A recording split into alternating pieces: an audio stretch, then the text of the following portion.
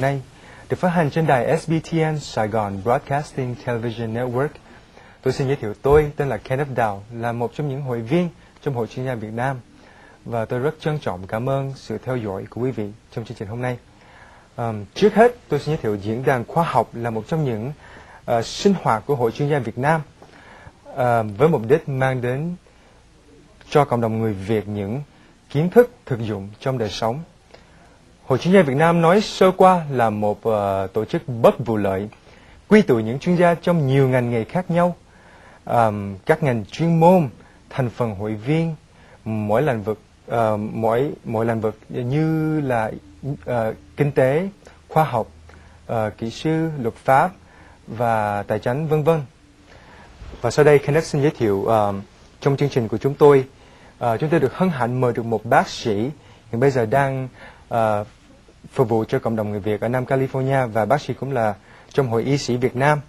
À, bác sĩ sẽ giúp chúng ta tìm hiểu thêm trong buổi thảo luận hôm nay à, về một đề tài mà hiện bây giờ à, tôi nghĩ rằng mang nó đang mang nhiều lo ngại cho khu vực châu Á và có sự ảnh hưởng à, khá lớn với đất nước Việt Nam hôm nay đó là bệnh dịch gà cúm. À, xin à, giới thiệu đây là bác sĩ Nguyễn Xuân Vinh. Chào bác sĩ ạ. À. Dạ vâng ạ. À, kính thưa quý vị khán thính giả của đài SBTN và kính chào anh uh, Kenneth uh, Đoàn Đào. Đào.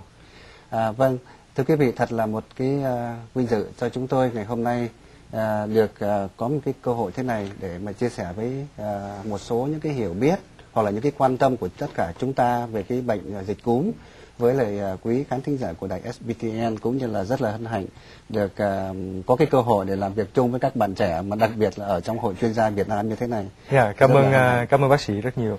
Và xin bác sĩ uh, bác sĩ có thể nói sơ qua về cái bệnh dịch này hiện nay và những tôi tôi tôi biết rằng năm ngoái là nó có bệnh SARS, năm nay thì mình xui là mình bị uh, dịch uh, bệnh dịch gà cúm thì bác sĩ có thể nói sơ qua những cái bệnh uh, dịch này uh, cho quý vị khán giả được không ạ? À?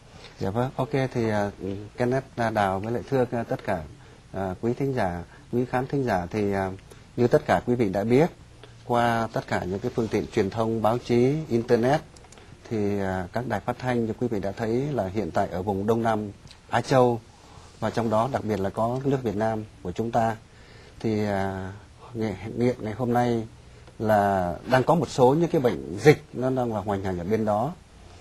À, một cái bệnh rất là quan trọng đó là bệnh cúm gà nó đang là hoàn thành ở Việt Nam và có một số những quốc gia à, ở trong cái vùng đó.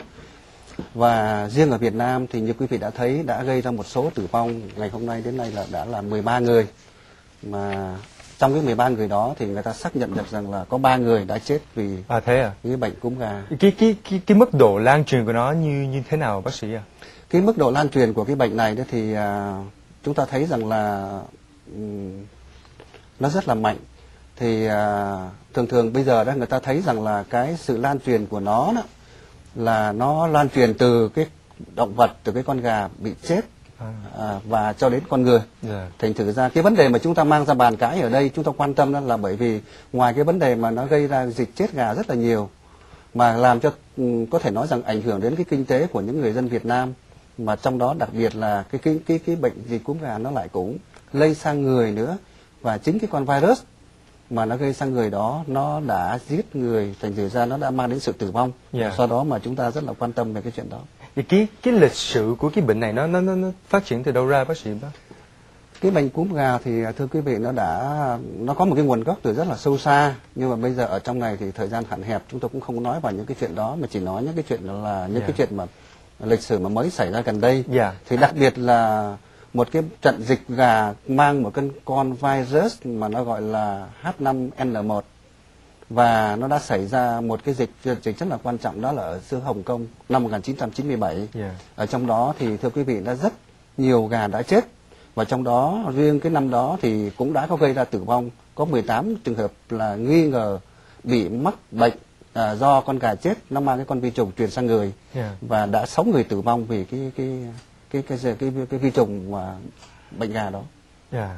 Thì dịch cúm gà hiện nay Việt Nam và các uh, quốc gia khác thì nguyên nhân bệnh á, là từ H5 H5N1 thì bác sĩ có thể nói là nó nó nó hại đến sức khỏe của con người như thế nào hay không? bây giờ như thế này thì bây giờ đó mình cứ ngồi mình bàn chút xíu tức là về đầu tiên nó nguyên thủy cái cái à, cái cái, cái con vi trùng bệnh virus đây là một Dạ. con virus này nó từ đâu đến thì thưa quý vị thấy rằng là người ta thấy là nó từ những cái loài thú người ta chứng minh được là nó từ những cái loài thú hoang dã đầu Dạ. tiên nó từ hoang dã nó tới thì cái thú hoang dã này con người ta có liệt kê ra một số những con à, đặc biệt là cái con một cái con vịt à, một con à, đất nó wild đất À, mà nó gọi là wa- waterfowl rồi. đó thì cái con đó là người ta cho rằng là nó là một cái reservoir tức là một cái mầm mống một cái nơi dự trữ cho cái con virus và từ con đó, đó Yeah. nó đưa sang những cái con uh, gia cầm của mình nuôi ở À, trong nhà ok. Ừ. thế thì đó cái à, ngoài đó ra người ta thấy là, là ở những cái loài kép là, là cũng có nữa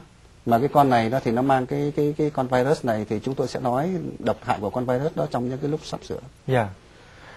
Và bây giờ có cách nào mà mình có thể đề phòng trong cái ờ, bệnh này bác sĩ ạ? bây giờ thì à, bây giờ mình cũng sẽ nói là theo một cái thứ tự nhưng mà ok tôi cứ trả lời những câu hỏi Dạ. là Kenneth à, đào thắc mắc đến đâu chúng tôi sẽ mình trình bày Dạ. để khán thính giả mà như vậy Dạ. thì cái vấn đề mà ngừa nó đó, thì đương nhiên đó là nó cả là một cái sự à, để mà có thể ngừa thành công đó thì mình người ta ngừa từ cái khoảng là từ những cái loài vật hoang dã giờ, mà nó mang cái con vi trùng đến cho những cái gia cầm của mình nuôi dạ.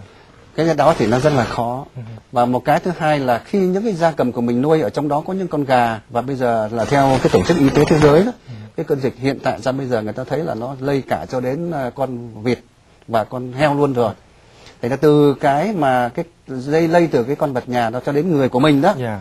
thì mình có thể ngừa được. Nhưng mà phải có một sự cộng tác phải nói rằng là rất lớn chung của cả một cái à, một cái city một cái thành phố Yeah. của cả xã hội một quốc gia hay là có thể là rất là cả một cái vùng rộng lớn tất cả mọi người cùng làm thì mới có thể mà ngừa được Ngừa được. dạ, chứ không Yeah. phải là đơn giản Dạ. thì theo tôi nghĩ rằng là cái vấn đề mà ngừa đó đầu tiên là mình phải à, chặt đứt cái nguồn mà mà mà cái cái con vi trùng mà nó mang đến tí dụ mình nói là bây giờ cái con vi trùng nó lây nó đưa đến từ con người mà đến cho từ cái con cái con vật con gà nó bị chết nó bị lây bệnh cho khi mà nó đến người đó thì mình thấy rằng là người ta thấy rằng cái sự lây truyền của nó là nó là con người con gà chết mang vi trùng vô con người Dạ. đó và người ta thấy như vậy bây giờ cái vấn đề đặt ra đó là như vậy thì trong cái vấn đề mà để mà ngừa cái đó đương nhiên là bây giờ mình phải hoặc là mình thuy thiêu hủy Dạ. những cái tất cả những cái thịt gà những con gà đã bị chết Ừ.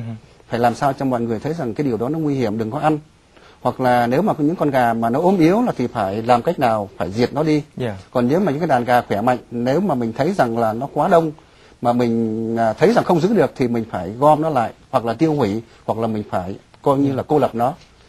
Đó là cái vấn đề gà đó.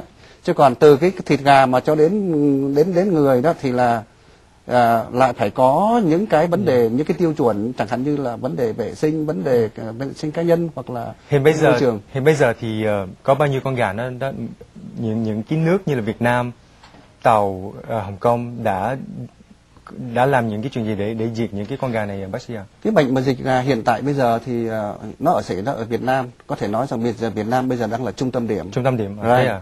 tại vì Việt Nam bây giờ nó đang có người chết Dạ. Trong khi ngay cùng lúc này thì cùng cái con virus mà H5N1 đó, nó gây ra bệnh dịch gà, nó đang là có ở những cái nước như Đại Hàn.